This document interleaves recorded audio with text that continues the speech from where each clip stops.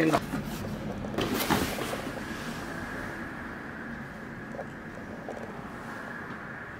ラグチャンネル。新しい撮影機材を導入しました。場面というか使いどころに合わせてカメラを変えて動画を撮っているのですが画質映像の綺麗さでいくとやっぱり断然一眼ですね。一眼レフまあミラーレス一眼。今日これもミラーレスの一眼のカメラで今動画を撮っているんですけどスノーボードとか海とか濡れたり落としたりというかね。まあそういう場面で使う場合はアクションカム。GoPro9 です。もうこれは今 GoPro も11、11まで出てるので2世代前にはなっちゃうんですけど写りもそれなりですけどやっぱりそのハードな使い方をしても壊れないというかそういう場面で使えるので、まあ、GoPro はやっぱり絶対的なその用途というかがまずあるんですけど今撮ってるのはミラーレス一眼ですけどこの一眼レフカメラですね。これはキヤノンの EOS5D Mark IV 写真を撮るのがメインなんですけどこちらももちろん動画が撮れますしレンズも変えられるんでそういう焦点距離を変えたりとかまあ写りがやっぱり綺麗。これはこれで使いどころっていうのがあるんですけど最近動画に関してもやっぱりミラーレスこのミラーのあるタイプのカメラはほとんどこうどこのメーカーも新しいものも作っていないのでやっぱりもうミラーレスのカメラにほぼメーカーも移行していますからちょっとこのカメラもね、まあ、写真を撮る時は今にこう使っているんですけどやっぱり動画を撮る際ミラーレスカメラの方を使うことがやっぱり多いんですね。でこれも去年、まあ、買ったものなんですけどジンバルですね。DJI の OM4 これも今 DJIOM シリーズは56かが新しいのがもう出てるのでこれももう2世代前のものにはなるんですけどこれも以前動画作ってるんですけど、まあ、こちらの iPhone ですね。携帯スマートフォンでブレがない動画がこれで撮れるこちらで動画も最近は結構撮ったりしていて iPhone 自体も結構写りがいいのでこう重宝してまあ使って結構使っていたんですけどちょっと今回買った新しい機材っていうのが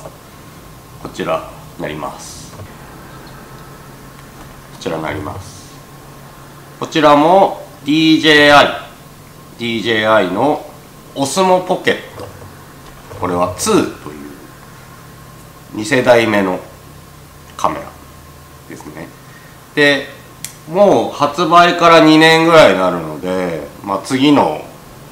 3になるのかな。3が多分出るであろうって言われてるこの時期にこれをまあ買っちゃったっていうのもまあまあ微妙な感じ。まあまあなんでこれを買ったのっていう話になるんですけどまず一番はやっぱりこのかなりコンパクトかなり小さいカメラ、まあ、カメラなんですけど、まあ、やっぱ一番の特徴はちょっと電源入れますね。わかりますでしょうか？ここにもうカメラ付きジンバル付きカメラか。ジンバル付きのカメラが付いてる。もうこれだけであの一つが全てこう完結するというカメラ。あのこれは要はカメラまあ携帯スマートフォンですけどカメラにつけるジンバルっていう感じなのでまあ2つのものを組み合わせて使ってるんですけどこれ自体にレンズもジンバルもでこちらの方にまあ手前にこう画面があるんですけどこちらでまあ見ながら撮ることができる。で SD カードに記録をする。だこれだけであの全て1個が完結。動画を撮ることができるもの。もう2年も出てから2年も経っているのでこの細かいこの仕様とかについては YouTube とかね見るといっぱいあのレビューとかしてる方とかいっぱいいるのでまあ、そういう部分についてはま特に触れないんですけど。でまあなんでこれっていう話に戻りますけどまずとにかくやっぱりこのコンパクト、まあ、GoPro はやっぱかなりねこれ自体ちっちゃいのでコンパクトさでいくと GoPro がやっぱり一番なんですけどこの一眼まあスマホ自体はあれだけどやっぱこの全体的なこうサイズ感考えた時にまずかなりコンパクト。やっぱりその防水という部分になるとこの GoPro これはもうカバーなしで水深 10m までまず水も大丈夫ですし自撮り棒とかをつけてですねまあ大体スノーボードとかでは撮るんですけどカメラが揺れてもこの中の内部処理でですねあの手ぶれをこう防ぐというか防ぐ処理をしているっていう。GoPro も僕3から使ってますけどだいぶそのホルに比べると手ぶれも結構効きますし見ててねあんまりこうゆらゆら揺れない動画は確かに撮れるのは撮れるんですけど OM4 だったりとかやっぱりこのジンバルですね。この物理的に要は揺れるのを合わせてこれが要はこう追従して。まあそうなったらコンパクトさで言ったら GoPro ジンバル機能で言ったらこの OM4 あ両方持ってるからまあいらねえじゃんっていう話になるかなと思うんですけど。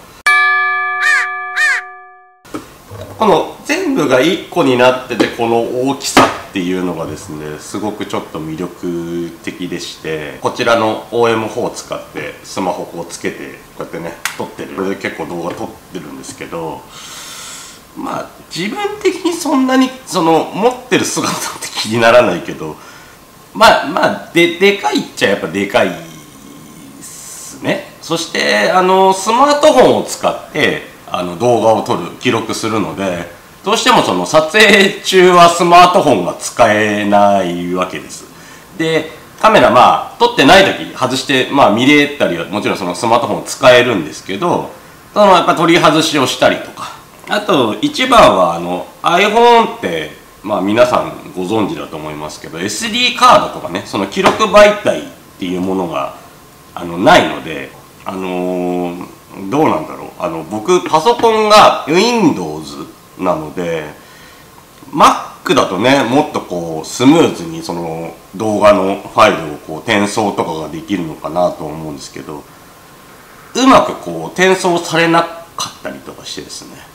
まずその動画のファイルの取り込み自体が結構ストレスだったりっていうのがあってこちらはあの SD カードに動画が記録されるのでスマホはスマホとして使える。でカメラはカメラ。届いて34日ぐらいしか経ってないんですけどとりあえずこうなんとなく軽く設定を覚えてさらっとこう撮った動画ちょっとそちらの方を一度ご覧ください。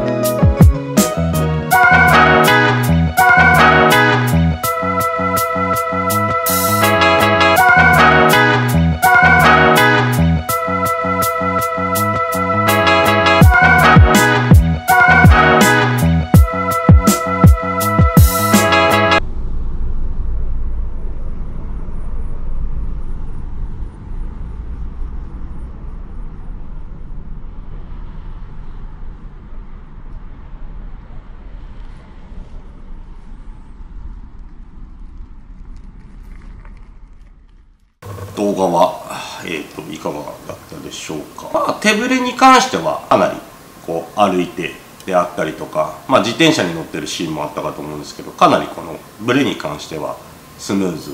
まあ画質に関してですけどやっぱりその最初も言いましたけど一番画質の部分で言うとこういうねやっぱりその一眼カメラにはどうしてもやっぱりかなわない部分があるので、まあ、それを僕の中でもあんまり気にしてないというか、まあ、写りがいいに越したことはないんですけど iPhone もやっぱりかなりですねカメラは皆さんも結構使ってる方いると思うので、まあ、動画であったりとか写真であったりとかかなりやっぱり綺麗に撮れますから GoPro メーカーメーカーの色のこう出方の感じとかっていうのがあるので GoPro もやっぱりこう綺麗には撮れるんですけど一眼とかで撮った時のこう奥行き感だったりとかまあボケ感とかっていうのはやっぱりどうしてもまあこういうカメラは出ないので綺麗に撮れてるけど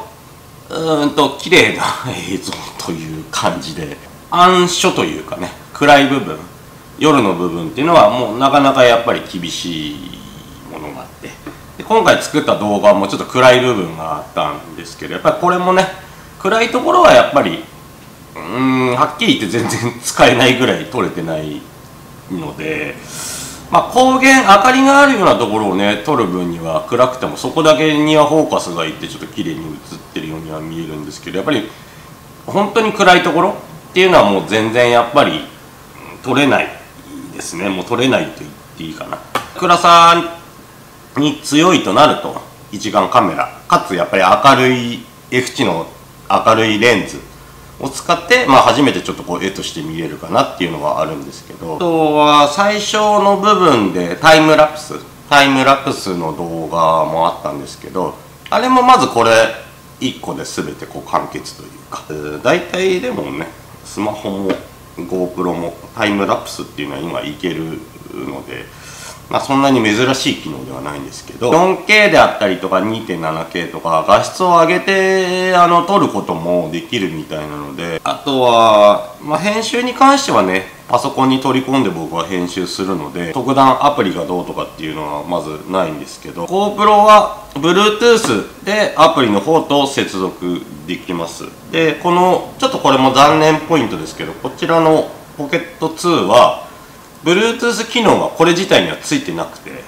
ここにつけるあの別売りのちょっとモジュールみたいなのがあってそれがついてると Bluetooth、Wi-Fi もいけるみたいなんですけど DJI のアプリですね。ワイヤレスでつなげることができないんでアダプターでライトニングとこれを接続するような形。連動ができますからまあそれでスマホに動画を取り込むとかそのスマホ内で動画の編集とかもまあできるようです。あとはこちらはあの防水ではないです。まあスノーボードだったりとか海とかねその濡れるような場面ではこちらは使えません。ハウジングがあってそれを買えばねあの防水になるらしいんですけどまあそれだったらまあ GoPro で。バッテリーですね。バッテリーが GoPro もあのバッテリーっていうのが取り外せるのでやっぱりどうしてもこういうアクション感あの使っててやっぱり電池がなくなる。まあ当たり前全部そうなんですけどなくなる。でバッテリーが取り外し式でね。あの何個かバッテリーを持っててバッテリーを変えればまた使えるっていう方がまあ当然便利なんですけどこの2つは内蔵バッテリーなのでうんとまあ簡単に言うと電池がなくなっちゃうとこれすぐ使えない新しい電池っていうわけにいかないのでそこがちょっとまあ注意点といえば注意点。給電しながら、まあ、取ることもできるらしいので使わない時充電モバイルバッテリーとかで充電しながらっていう感じでいいのかなとは思います。でまあいや いろいろ話をしましたけどじゃあそんなにこれってっていう感じってねあるかなと思うんですよね。写りはやっぱり一眼の方がいいですし。防水の部分もない。じゃあ GoPro の方がいいじゃん。でまあジンバルに関してはもう持ってたしまあカメラではないですけど持ってる iPhone でそこそこ綺麗に撮れる。じゃあこれを買った意味はってなるんですけどやっぱりですねこの圧倒的な小ささコンパクト。まあ名前のそのポケットっていうぐらいですから本当こう上着のポケットにも入っちゃうよみたいな。そのこのやっぱり小ささですね。まあ画質もそこそこですけどまあ本当にそこを求めるなら何回も言いますけどやっぱり一眼なので、まあ、そこそこ撮れて。でまあ防水ではないけどまあね冬とか夏の海とか以外はまずほぼほぼ使える。でやっぱりこの本当に何度も言いますがコンパクトさですね。こんなちっちゃいですよもうおもちゃですねおもちゃちゃんとこうジンバルも動くしすごくないですかこれ。おもちゃですよおもちゃ。っていうねこのおもちゃ感もまた良かったりもしてですね。でケースなんかもまあレビューいろんな動画出てるんでもうこういうのねそういうのを見ていただければいいと思うんですけどまあこのケースがついててこれにこう収納してこれでまあね安全に持ち運べます。ほんとこれですからねこれ。なんかあの吸ったことないですけどアイコスみたいな 感じかなと思います。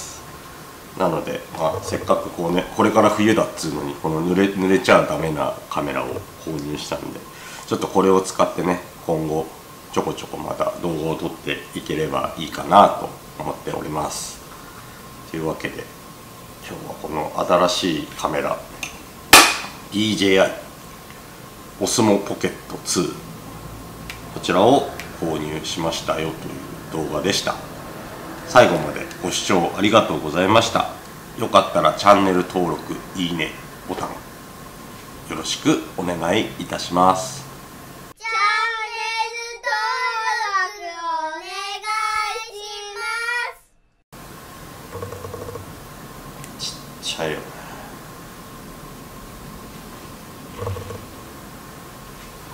ねなんか GoPro も新しいの出てるんですけど DJI のなんだっけオスモアクション、まあ、GoPro みたいなやつ。あれもなんか悪くなさそうだし。ね今後ちょっともし買い替えみたいなのがあればそっちにしちゃうかもしれないなという予感もしないでもないですが。DJI がやっぱいろいろねこうすごいというか。GoPro も確かにこういう部門ではね先駆けですからすごいのはすごいんですけど。最近はちょっと DJI がいろいろすごくってなんだか次はお相撲アクションになっちゃうかもしれないですね。以上です。